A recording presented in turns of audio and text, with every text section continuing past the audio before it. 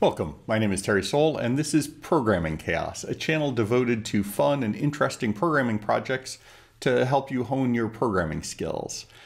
Today's project is procedural animation, and this is a fairly simple but very useful form of procedural animation that can be used, as you can see here, to animate things like fish, snake, slugs, reptiles, and also inanimate objects like ropes or chains. The basic idea behind the procedural animation is our objects or our creatures are divided into segments. You can think of them like vertebrae in a spine, and there's fairly simple rules for how those vertebrae behave. Each one rotates at each time step so that it's facing the next segment and then moves to stay a fixed distance apart. So let me show you an example of how that works. So here we can see the segments and you notice what happens. Each one rotates and then moves so it's a fixed distance from the segment in front of it. And in this case, the distance between the segments is equal to their radii. And one of the things we can do is adjust that distance. And this is slowed down considerably so that you can see the individual motions. Each segment rotates and then moves, and the one behind it rotates and moves. Now I'll speed it up and you'll notice they're following the mouse. So here we go. And this is that exact same behavior, but sort of in real time, if you will. And so each segment follows the one in front of it by rotating and then moving forward so that it's maintaining a constant distance. And there's a bunch of things that we can play with here to get different effects. So for one thing, the distance between them can be changed. So here, they basically overlap by their radius, but you could set them so instead they just touch or so there's a gap between them or so they overlap even more. You can also change the profile. So in this case, my profile is the segment in front is largest and then they get smaller and that gives you sort of a slug-like shape. If you wanted a fish, you'd want to start a little smaller, get big and then get smaller again. For a snake, you might have a couple big ones for the head and then a long, slowly decreasing size. So the profile of those segments defines, in a sense, what kind of creature you're dealing with. And the distance between the segments influences how it looks as it moves. So you by changing the distance, you can get more or less flexible creatures. So in terms of the rules, they're actually quite simple. Each segment rotates to the segment in front of it and then moves forward until it's the correct distance away. On the programming side, what that means is we basically need two major pieces. We need to define the individual segments. So I'm going to have a segment class and then we need to define the creature. So I'm going to have a creature whose main data structure is an array list of those segments. So individual segment class, array list of segments. And with that, let's get started on the programming. For this project, as with most of my projects, I'm going to be programming in the processing environment using the Java language. And I like processing because it's simple to get started with and gives you easy access to graphics. It's free to download from processing.org. So if you haven't already, I encourage you to do that and program along with me. All processing projects have the same basic boilerplate. There's the setup function, which sets up the program and usually in particular sets the size of the window. That's that size function. And then draw, which is a continuous updating loop that updates the graphics for us. For this project, as I said, we want to begin with a segment class that defines each segment in the creatures. So let me do that. So there's our segment class, and each segment needs some data associated with it. So it needs to know its location, it needs to know its angle, how it's rotated, so it can rotate to follow the segment in front of it. It should also know its radius, so it can draw itself. It should know the distance that it needs to maintain to the next segment.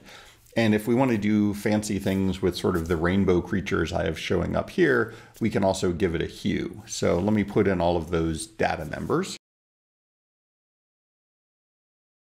And then we need a constructor to construct segment objects and set those values.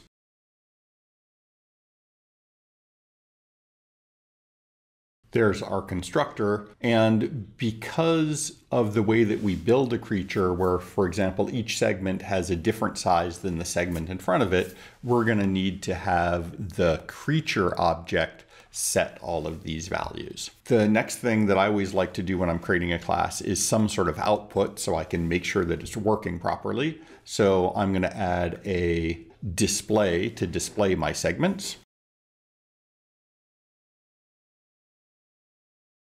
And I'm going to do this by transforming my coordinate system. So if you're not familiar with it, the push matrix says, remember the current coordinate system. And then basically translate says translate the origin of the coordinate system to that location. So I'm taking my origin and I'm moving it to the center of the segment, and then I can rotate it so that the coordinate system itself is aligned in the direction that this segment is facing. And now I can draw in a circle. And I put that circle at location 0, 0 because that's now the origin of my coordinate system. And then I draw a circle for the segment. And you'll notice that I'm putting in two times the radius. I always get this wrong with processing. It actually wants the diameter of the circle, which of course is two times the radius. And then for debugging purposes, it's nice to put a line in showing the direction that the segment is facing. There we go. And because I've moved and rotated my coordinate system, the line, like the circle, starts at zero, zero, and then just moves along the x-axis, which is the direction that the circle is facing, the distance. And then I want to pop that coordinate system off my stack of different coordinate systems. So you can sort of stack multiple changes to the coordinate system if you need to.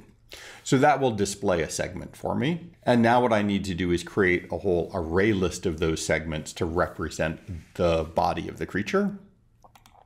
So I'm going to do a new creature class.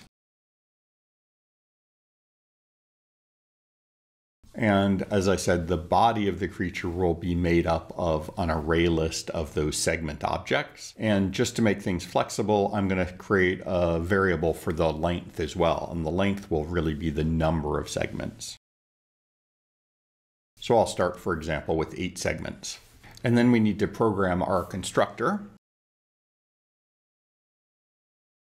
And I find it easiest to begin by defining the radius of that first segment. And then we'll use a loop to create each segment and add it to the body. So what this does is it defines the radius of each segment, and I want them just to progressively get smaller. So I begin with the full radius of 30, and then I subtract from that the number of steps that I've done, so which segment it is in the row, times this ratio, which is the overall radius divided by the length minus one. So in this case, basically I'm doing 30 divided by 8. That's how much smaller each radius should get so that the last one ends up with a radius of 0, which gives me a nice little pointy tail. So now that I have my radii, I can add my new segments onto the body and I need to decide the location of the segments, and I'll just put them towards the middle of the screen. So this starts at the middle of the screen, and then I subtract. So each one after that is going to be further to the left to give me a little set of segments sort of stretched out. And this will just make sure they're all in a row at the middle of the screen. And for now, I'm going to make both the distance that I want between them and the radius to be the same.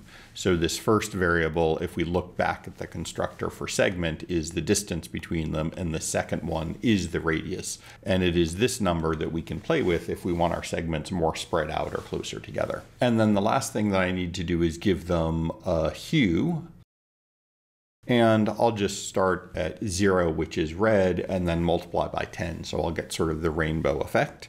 And I realize if I go back to my segments and my constructor, I also needed to give them each an angle. And so the angle is between the y parameter and the distance parameter. So right here, and I'm fine with just an angle of zero. And then I have an extra comma, so let's get rid of that. and round it off with one more parenthesis. There we go. So I'm creating new segments and adding them to the body, and each one has an XY position, an angle, which is zero, which is just pointing to the right, a distance that they want to be apart from each other, a radius that they want to be, and a hue, which I probably won't use right now, but will come in handy later. So that's the constructor for a creature. And then if we want to see them, I should probably put in a display function.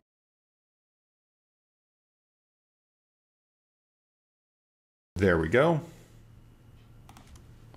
If I spell segment correctly, this will grab each segment and then call the display function for that segment. And now I can go into my main code here and create a creature. initialize it, and ask it to display itself. So assuming I didn't make any mistakes, let's see how this works. There we go. There's our initial creature. We've got a big segment and then a series of smaller segments, and they're spread out kind of unevenly because I separated them initially by the radius, the largest radius. But of course, once we start having them update themselves, they'll all draw together as they should. And you can see, because I put in that line, you can see which direction they're facing. And that's really helpful for debugging. It also adds a nice little spine. If one thing I should remember to do, I'm not updating the background each time. So the lines look a little oddly thick. That's because they're being drawn on top of each other over and over again. So let me put that in. That just erases the screen before each next update. So now I'm displaying the creature, but really what I need to do is put in that update function. The first thing I'm going to do is put an update into the segment. So each segment will rotate and move towards the segment in front of it. And in order to do that, of course, it needs to know where the segment in front of it is located. So the way that's going to look is like this. So a segment will receive the segment in front of it and then base its update on that. So the arctan2 function here gets used quite often. It tells you the angle in radians between any two points. So we take the difference in the y positions and that comes first and that's an easy thing to forget and the difference in the x positions, we plug those into arctan2, and that tells us the angle between the two, the center of the two segments in this case. And so all I need to do is have the segment that is doing the update rotate to be at that angle. So literally just angle equals A. Now I need to decide if it needs to move forward or not. And because of the way our creatures are always sort of moving forward, I don't have to worry about them backing up. So I need to calculate the distance between the center of my current segment and the segment in front of it, the previous segment. So there's our standard take the distance and square it plus the y distance squared and then take the square root. That gives me the overall distance. And remember, distance is the target distance between the two. So if d is larger than that target distance, I need to meet, move forward, and the amount I need to move forward is the difference between those. So I'll call this delta. So I need to move forward by that amount. There we go. So this is just our standard trig, the cosine of the angle times delta. If I want to move like this, that gives me the X amount that I should move. And then if I do the same thing, but with the sine, that gives me the Y amount I should move. And so my segment is moved to the new correct location. So that's actually all there is for the update for the segment. Rotate and then move the right distance if necessary. And now what I have to do is go into the creature and have it do that update for every segment in the creature. The tricky thing here is the head segment because the head segment doesn't have another segment in front of it. So I'll do what I did in the demo, which is just have it follow the mouse. So there we go. I'm getting that first segment off of the body. I'm using the same arctan2 to calculate the angle between them, and that should be a float, not a flat. And now I can simply say I want the head to rotate at that angle. and I need it to move forward. And in this case, I don't want to do a fixed distance from the mouse. Instead, I'm going to allow it to move at some speed. So it's the same trig with a sine and a cosine, but instead of multiplying it by a delta, I'm going to multiply it by some speed. We go. And of course, speed is not defined, so I'm going to add that as part of the class. So there we go. I'll do a speed of four. And this now moves the head forward. And then I simply need each segment to do its update, but using the previous segment. So I start at one, not zero, because the head segment has already moved. So I'm going to use C as the current segment. And P here will represent the previous segment, so the one in front of the current segment. And I'll get each of those. And then I want that current segment to update based on the location of the previous segment by calling the update function I just wrote. And so that really is just about all there is. I need to go to my main code here and ask C1, my creature, to update itself before it displays itself. So let's see how this works. So there we go. I've got a little creature following the mouse around with a nice procedural animation, just what we would like.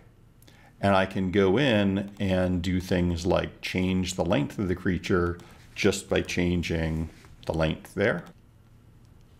And so now I have a much longer creature and I could mess with things like the size, I can change the shape simply by changing the function that I use to calculate the different radiuses. I can also go in and set the distance between them to be smaller or larger. So let's do that. So I'm going to ask for a smaller distance between them, half the radius. And now you can see I get a much tighter set of circles. So there are a couple of issues that we might want to add to this, but this is the basics of our procedural animation for snakes, fish, lizards, all sorts of different creatures. One thing is we might want to do an outline along the edge of the body. So to do that, I want to find the sides of each segment and draw lines back to the segment behind it. So instead of creating a creature that is a series of circles, it looks pretty good if you want to do like a segmented worm, not so good for a fish. We want those lines along the side of the body, so I'll show how to do that. The other issue we have is if it curls back on itself, you get sort of a little kink, and it doesn't look too bad in the segmented version. So I'm not going to worry about it just yet. But in the sort of body version where we're doing the lines along the side, that actually creates a weird kink. And the solution to that is just to limit the size of the turns. Okay? So again, this is the basic procedural animation. That's all it takes. And if you want to run with this on your own, go for it. I'm going to show next how to do sort of a body instead of the segmented version. Let's do that. And the basic idea is we're going to change how we display our creatures. So instead of displaying each segment, what I want to do is draw a line, and you can sort of see it here, although the line doesn't show up real well, between this point on a given segment to that point on the segment behind it. So let's make that modification to our display function. To draw the sides of the body, as I said, we need not one segment, but two segments. I need the segment and the one sort of behind it. I'll call that next. And because it's the one behind it, I can no longer go to length. I need to go to length minus one. So I'm going to stop one before the last segment because the second to last segment will draw the lines back to the last segment. And I'm not going to display my circles anymore. Actually, let's leave it in for now so we can sort of see both at once. And there's quite a bit of code that we have to add because we have to calculate four different points the left and right on the segment in front and the left and right on the segment behind. And that's going to involve, again, using some trig So I'm going to put that in here pretty quickly and then explain how it works.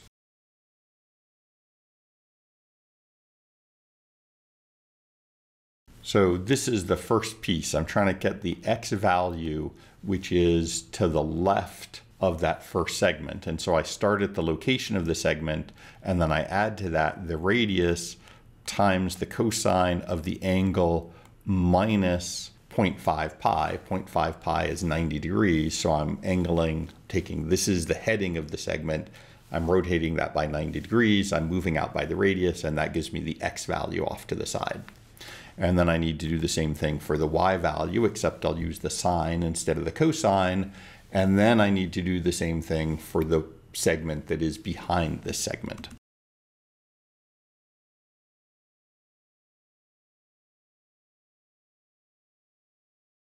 There we go. And now that I have those four points, I can just draw a line between them. So let's see if that all works okay. So let's see here. saying the value of y1 is not used, and that's because I did not put it in there. There we go. So let's see how this looks. Not quite right. So you'll notice the lines along the side, you can see the lines there, but they're sticking out a little bit. So I did something wrong. Let's see if we can figure it out. There we go. You probably saw this as I was typing. This should be a sine, not a cosine. There we go. So it's a little hard to see because my circles, my segments overlap so much, but I do have a line going down one side now. Let's go up and spread them out a bit more. So I'll just make that radius again. That will spread them out a bit. And now you can see that line down one side of the creatures. And I simply need to duplicate that to add the line to the other side. So I'm going to take all of that code and paste it in, except that now I want the point on the other side. So plus 90 degrees or plus half a pi. And now we have lines down both sides. And in fact, we can go in and remove the display and you just get the body of the creature. And you can see there, if I turn too sharply, it puts weird kinks in. And so that's something that I want to fix by changing how sharply it can turn. It also, when it reaches the mouse, you get weird effects because it's doing strange things. That's not going to be a problem once we fill in the rest of the code. So don't worry about that piece.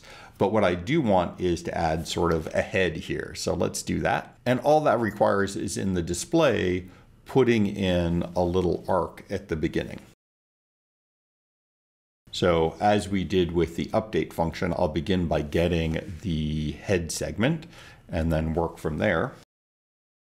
I'm going to be drawing an arc, so I don't want any fill, so I might as well put that in right away. I'm going to translate to the location of the head segment, and I need to do that because, as I said, what I want to do is draw in a little arc to close in the head, and that's going to require moving to the location of the head and then, in particular, rotating so the arc is in the right direction. So I need to put in my rotate by the angle that the head is at, and then I just need to draw an arc. And this is the way the arc function works if you're not familiar with it. That's the location of the center of the arc, which because I've translated to the right location is the origin of my coordinates. Then we have to tell it the diameter of the arc in both directions. And that's going to be radius times 2 because I have to give it the diameter. And then I have to tell it the starting and end angle of the arc. And so I want to go basically from minus half a pi to pi, which is same way we were thinking about the sides along the segments. I want to go from one side all the way around to the other. And then I need to pop that matrix off. So there you go. Now we have a nice little head. If I want, I could make it a little pointier by changing the arc diameter, and it's this first parameter that defines how far out it sticks in he ahead. So there we go. That gives me that slightly more rounded front if I want. And this again is looking like a pretty good slither with the slight problem that it can loop back on itself, which is a little frustrating. So let's fix that. And to fix that, we need to go to the update. And instead of setting the head angle to the angle, which allows for very sharp turns, what I want to do is calculate the difference between them and only turn by a little bit. So here's what I mean by that. This is the difference between my target angle and the head angle. And what I'd really like to do is take the head angle and just adjust that by a fraction of the delta. So something like this. So I'm going to take that difference and I'm going to take one hundredth of it, which seems like not much, but we do lots of updates per second. And so now the head is going to turn more slowly. And as we'll see in a minute, doesn't quite work. So you can see it's turning more slowly, but then suddenly it oddly turns away. And if I'm lucky, it will come back onto the screen, but maybe not. So let me rerun this so you can see it again. So notice that it's turning kind of slowly and then zoop, turns in the wrong direction. And the reason for that, and this comes up quite a bit when you're dealing with rotational angles and differences, is when it gets to the zero angle, it instead of going, for example, the shortest distance, it decides to go the longest distance. And then it gets here, and instead of going the shortest distance, it decides to go the longer distance. One way to think about it is 0 and 360 and whatever 720 are all the same and when you take that difference you might get up instead of the shortest angle you might get extra loops in there, if you will. You might have an extra 2 pi or an extra 360 added into the delta. So what we really need to do here to make this work is to make sure that delta is between minus pi and pi. That keeps it restricted to one circle, and we don't have the problem that it's looped around a few times and delta gives us weird results. So let me put that in.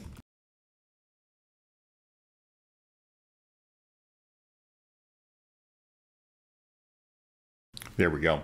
So this makes sure that delta is in the range minus pi to pi. If it's smaller, we add 2 pi. If it's larger, we subtract 2 pi. Puts it in the right range, and now we get a nice follow and we don't get that weird turn off to infinity. And this is actually turning a little slower than I might like. There we go, it comes back on the screen. So if I want it to turn faster, I can just up this delta factor. So let me try, um, I'll add a 0.5 or another 5 here. So it's 0.015. There we go. That's a bit of a faster turn. And now it, we don't get that weird kinking effect because it can't turn too quickly. And this, if you will, starts looking a little bit like a fish, right? Uh, so there's sort of a nice fish shape. And you can imagine from here we can do things like add eyes or I can use my hue to add colors. Let's do the color piece next because that's kind of nice. So I'm going to go in and display my segments again, but I actually think that I will display them at the beginning. And I'm going to change the way that the display works. And I can't change it there because I haven't even grabbed that segment yet. There we go. I will grab the segment and then display it. And to display that segment now, I'm going to, I think, remove the stroke and just display the color. I want to fill color, which is the hue and maximum saturation and brightness. So I need to change my color mode to match because I'm using hue, saturation, brightness for my color mode here. And let's do no stroke. So I don't want an outline around my circles. And for now, I'll get rid of that line. So this is just going to draw in a nicely colored circle. And as I said, I need to change my color mode to hue, saturation, and brightness, where the hue is a 360 arc, a color wheel, and this gives me the saturation and brightness. So let's see how that works. There we go. So now what I have is the colored segments. And I'm not seeing the line anymore because I turned the stroke off here. So now I have to say, turn the stroke back on in order to get the lines to appear. So that works pretty well, except for the head, because that arc is not fully filled in. So we can fix that instead of no fill. I will fill with the hue of the head, and again, maximum saturation brightness. So there we go. Now I have a nice rainbow colored fish. And in addition, it's got lines outlining the body on each side. So from there, there's lots of things that you can add. In my example, I have little eyes. Another cool effect is to, when you display some of the segments, add a line sort of hanging off the back, and that ends up looking a little bit like a fin. In fact, let me put in the fin because I think it's a nice effect to take a look at. So I'm going to do this as a separate call. And it's pretty simple. I just want to take a few of the segments and draw a line, sort of like we did with the distance to show how the segments were connected. I'm actually going to draw it backwards so it sticks out of the back of the segment. And you'll see what I mean here in a second. And I only want this on a few of the segments, so that's why I'm going from 2 to 5.